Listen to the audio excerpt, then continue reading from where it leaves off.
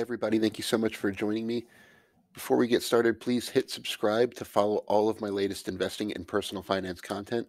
And be sure to check the link on your screen for a special message from our sponsor, The Motley Fool, where you can find the 10 best stocks to buy now.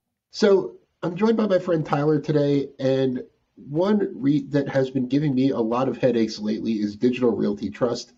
It's one of the first REITs I bought. Um, I've owned it, I want to say, since 2013. Um, and it hasn't been performing well lately after a streak of really a long a long string of outperformance over most of its history. Um, so I've seen a few red flags of why this might be underperforming the market, not just that some short sellers don't like it. Um, to be honest, I don't buy the short thesis that um, you know big tech companies are going to start doing data center uh, operations in house. Um, but there are some red flags I'm seeing. The first one I'm seeing is management turnover.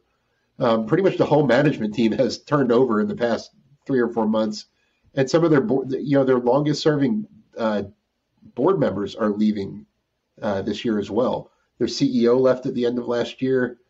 Um, they have a new CFO. Um, Tyler, what do you make of the management turnover, and what's kind of your red flag you see? So, you know, management turnover. There's sometimes it's nothing, sometimes it's something, and I, I haven't quite pinned whether this is nothing or something yet because, you know, some sometimes we have significant management turnover. Maybe they all kind of came together in the company 20 years ago and now they're retirement. I, I don't think that's the case here, but you know, I'm not going to completely rule it out. But I, I want to. The, the thing that's made me a little bit nervous over uh, recently, and actually is why I ended up selling stock a couple months ago, is if we start looking at valuation, I know a lot of eh, like we've been saying like oh rising interest rates and like doing things to you know why why that should devalue it. But I do want to get a little specific with it and to some of the short sellers, notably Jim Chanos, he's been talking about this a lot recently. So in 2023, the company wants to sell about $2 billion worth of assets to pay for its development and growth pipeline.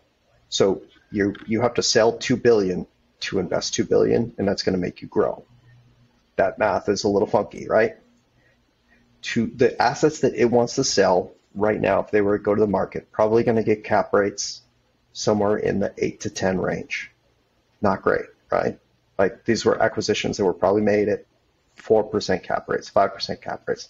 So we're looking at significant bar, you know, valuation compression for these sales to invest in things that they acquired at higher cap or at, at higher valuations, right? So you start kind of tying those all things together. It's got a very high debt rate, so much so that they probably are going to have to issue equity to kind of right size the balance sheet. And you total all those things up, and it just doesn't look great. And for me, a company that needs to delever with seemingly overvalued assets, or at least on their books, kind of tends it lends itself to a, a not great outcome. Yeah, raising equity capital has definitely become a lot less desirable, especially after the recent decline in the stock price. And you mentioned the debt; their their debt to EBITDA ratio is up from 5.2 in 2020 to about 6.9 now. That's a pretty big jump. And um, and it really depends on how you want to calculate it because like you know, for the, for example, I'm looking at it here on my screener with a company called Koyfin, and they've got their you know debt to EBITDA north of 7.4. So depending on how you calculate debt or EBITDA, that number can vary a little bit. Yeah, absolutely. And um, I mean, inflation's hurting these data center uh, REITs as well. Uh, it's worth mentioning. They, you know, data center. It's tough to overstate how much power expense they have. And inflation has really been causing their power costs to rise faster than the rent they're receiving. So that's another big um, you know, reason why you're not seeing a lot of FFO growth out of these data center REITs. So the million dollar question, you said you sold yours. Should I sell mine? I mean, hey, I did. And I, I think I kind of laid out the reason why people might not want to buy it or maybe reconsider their position. Um, Could it be something to revisit at a much lower valuation? Absolutely.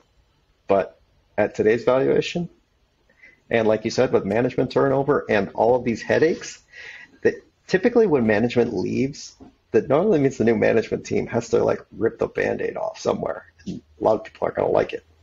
Once again, thank you so much for joining me. Be sure to click subscribe if you don't subscribe to my channel already. And as always, this video is sponsored by The Motley Fool. Be sure to visit www.fool.com slash Frankel to receive the 10 top 10 best stocks to buy now.